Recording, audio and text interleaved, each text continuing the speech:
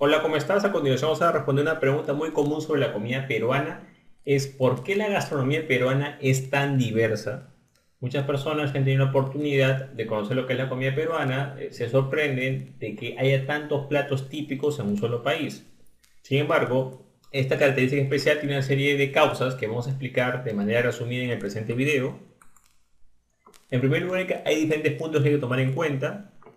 Si vamos a lo que es la parte de diversidad, en el libro 357 listas para entender cómo son los peruanos, se mencionan hasta 491 platos típicos. Esto puede, digamos, sorprender o puede, digamos, hacer quizás también que sea difícil de creer, ¿no? Porque hay tanto plato típico? ¿Por qué ahí? ¿Por qué en otros lugares? Etcétera.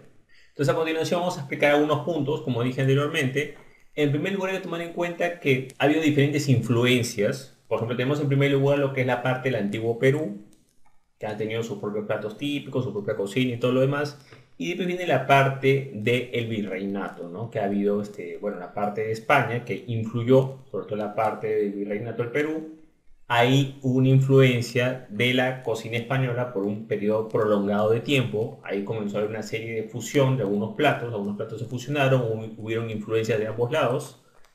También tenemos otra influencia que es la costa atlántica del África, por una época llegaron bastantes esclavos y ellos trajeron sus propias costumbres. Hay muchos platos típicos que se derivan de este tipo de platos, por ejemplo, el tacu con salsa de mariscos. O sea, hay diferentes platos que derivan de esta influencia, ¿no? Que enriqueció bastante en lo que es la, la comida peruana. Después tenemos también otra influencia muy importante que es lo que corresponde a los chefs franceses. Cuando hubo la, Revolución Francesa, muchos chefs eh, emigraron a Perú y ellos, por supuesto, también influenciaron en lo que es la estructuración de algunos platos. Y por último tenemos las diferentes inmigraciones que hay de diversos países, pero principalmente tenemos lo que es la parte de chinos cantoneses, japoneses e italianos. Hay algunos platos que se fusionan, algunos platos que reciben ciertas influencias, por ejemplo en el caso de la comida china tenemos lo que es el chifa, que es la fusión entre la comida peruana y la comida china, y diferentes, digamos, fusiones, influencias que hacen de que haya esta diversidad. Entonces, como podemos ver acá hay una diversidad de culturas en realidad y una mezcla de estilos que ha dado como consecuencia la creación de diferentes platos típicos. Sin embargo, hay otros factores que también influyen en esta diversidad. Está en primer lugar lo que es la parte de la geografía. Como muchos sabrán, Perú tiene tres zonas, que es costa, sierra y selva. Sin embargo, hay diferentes alturas donde, digamos, pueden haber diferentes eh, variedades de un solo producto. Por ejemplo, tenemos el caso de la papa, la cual hay diversos tipos debido a los diferentes microclimas que, se generan a lo largo de las diferentes alturas que hay, digamos, ¿no? Entonces, al haber una geografía tan diversa, entonces eso también da, da, como origen de que cada zona tenga sus propios platos típicos, platos típicos de la costa, de la sierra, de la selva, del norte, del sur, etc. Tenemos también lo que es la parte que mencionamos anteriormente, que es uno de los principales motivos, es la mezcla de culturas.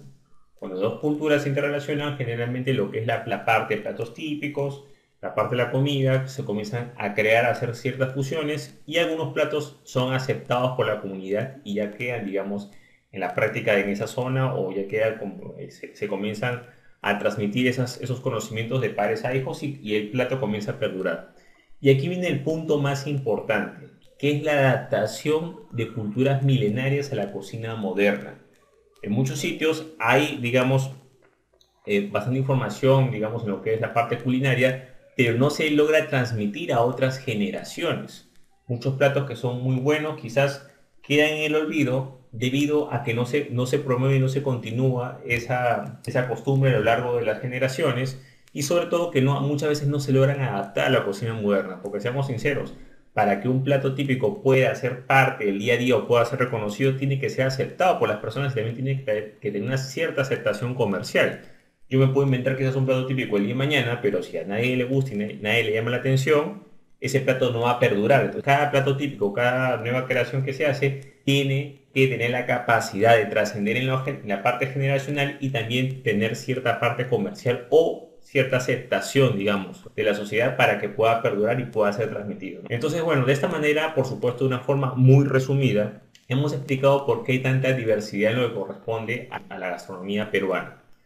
Si te gustó este video, te hacer clic en me gusta, dejar tu comentario en la parte de abajo, compartir el video y por supuesto suscribirte al canal.